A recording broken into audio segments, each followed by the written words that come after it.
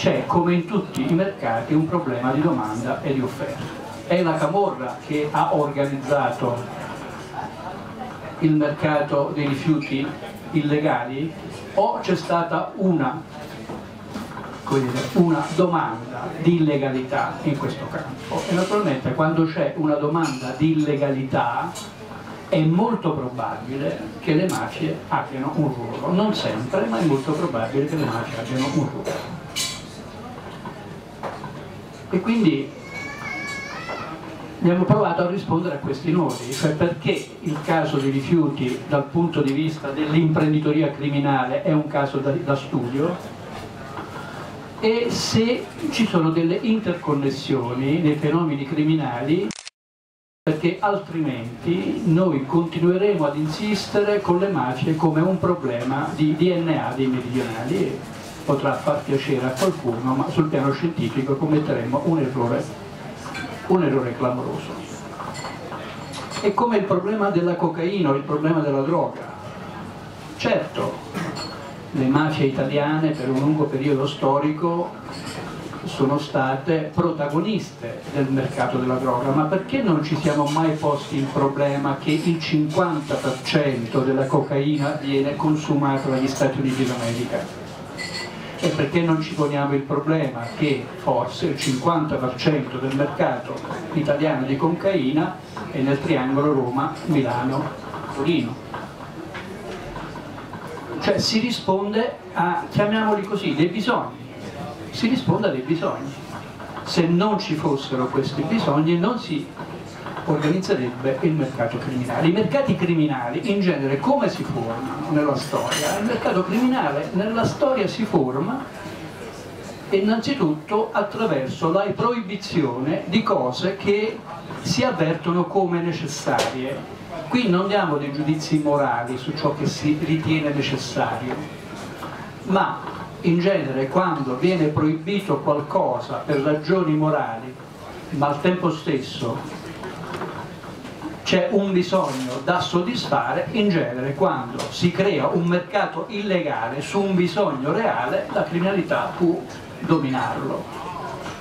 Non ci spiegheremo perché da una sperduta isola nel Mediterraneo si sia organizzata una delle criminalità più feroci al mondo, ma la svolta della mafia non è nella sua storia, la svolta della mafia siciliana è nel 1957 quando i mafiosi americani, Cosa Nostra americana, incontrano all'Hotel delle Palme a Palermo e propongono ai loro cugini o fratelli siciliani se vogliono fornire il mercato e vogliono ospitare alcune raffinerie di droga. Il salto moderno della mafia siciliana non è nella storia della Sicilia, il salto moderno della mafia siciliana è questo ruolo internazionale che improvvisamente, sulla base di questi legami, viene, viene ad assolvere. Quindi noi abbiamo o dei mercati che si formano sulla base di una proibizione, chiamiamola l'economia del vizio, l'economia del vizio in genere è l'economia dominata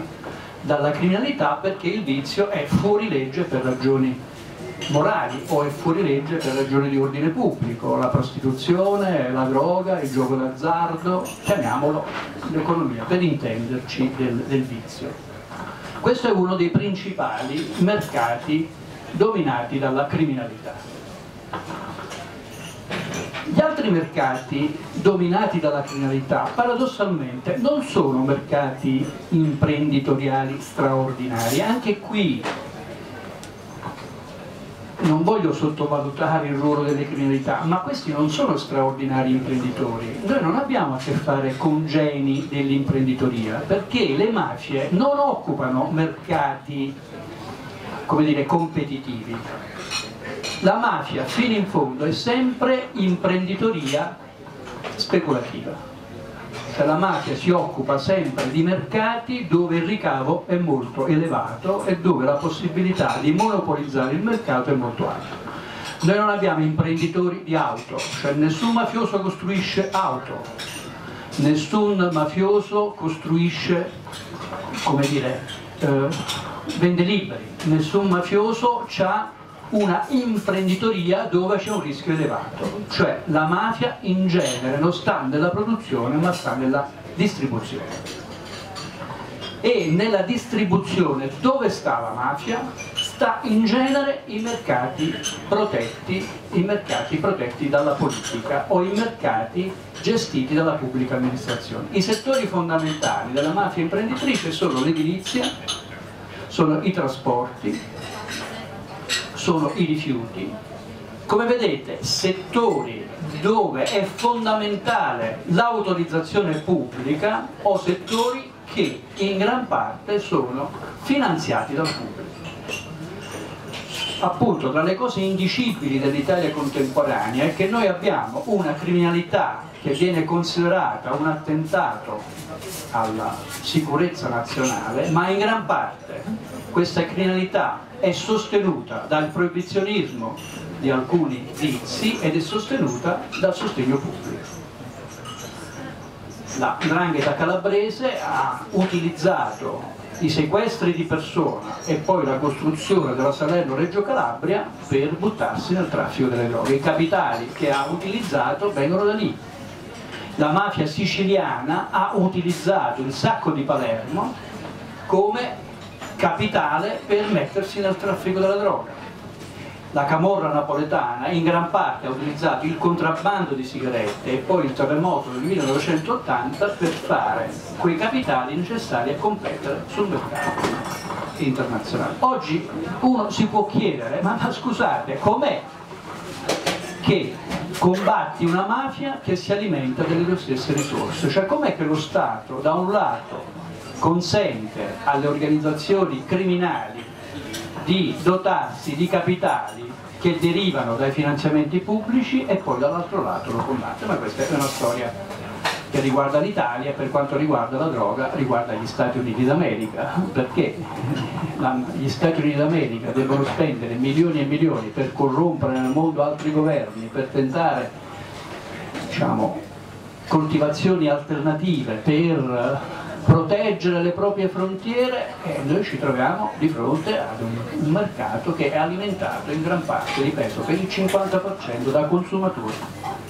degli Stati Uniti d'America. Quindi quando parliamo di mafie non dobbiamo immaginarci straordinari imprenditori, non facciamo l'errore di sopravvalutare le straordinarie abilità, in gran parte sono imprenditori di illegalità, sono molto bravi ad intraprendere laddove ci sono mercati illegali.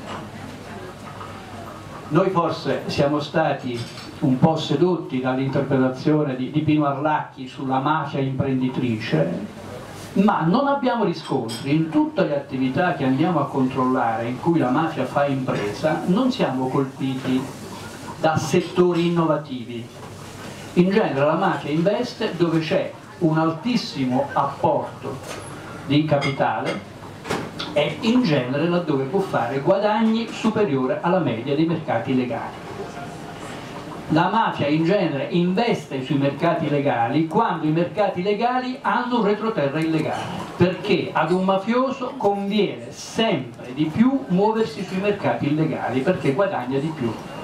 Quando entra sui mercati legali entra in genere per riciclare per darsi un'immagine di persona per bene, ma mai perché ritiene che quel mercato legale gli frutti di più dei mercati illegali. Mai non succede quasi mai che i mercati legali possano dare di più dei mercati, dei mercati illegali. Dunque noi parliamo di un settore, quello dei rifiuti, che è in gran parte dominato dal pubblico, in gran parte finanziato dal pubblico e per pubblico dobbiamo intendere i comuni, le amministrazioni provinciali, le amministrazioni regionali, il Ministero. Quindi noi siamo di fronte ad uno dei casi in cui si è consolidata una mafia imprenditrice sulla base di un settore pubblico. Ecco, eh, dicendo queste cose, dire, sembrano scontate, ma finché uno non le mette così eh, in maniera una dietro l'altra queste cose, non, non, sembra così scontato. Uno chissà che immagina che quali straordinarie capacità hanno questi. Poi perché è successo che la Camorra è diventata protagonista? Per ragioni molto semplici, molto banali. La prima perché la Campania è più vicina della Sicilia e della Calabria rispetto all'industria del nord. è una questione geoterritoriale.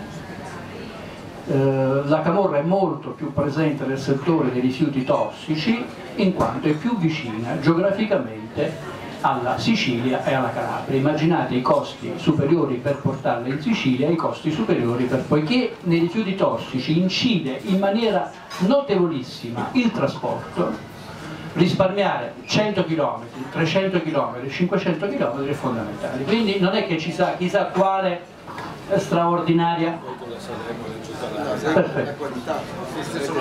Perfetto. Questa è la prima motivazione. La seconda, che essendo molto specializzata la Camorra Casalese in opere pubbliche, avendo dominato per alcuni anni il settore delle cave, cioè l'estrazione delle cave, prima che lo Stato italiano si rendesse conto che era uno dei settori da tenere più sotto controllo, nelle cave dove loro estraevano il materiale per le opere pubbliche interravano il, quindi avevano molte cave a disposizione. C'è di più, in genere, ma anche qui nel Veneto, come Belloni ha dimostrato nel suo saggio, in genere succede che i rifiuti tossici, chiamiamoli pericolosi, in gran parte è molto conveniente metterli sotto le opere pubbliche è molto conveniente perché si risparmia, è molto conveniente perché è un mezzo nel passato considerato normale di smaltimento. Prima che esistessero i controlli pubblici, prima che esistessero forme eh, di smaltimento organizzato dei rifiuti, questa era la prassi normale.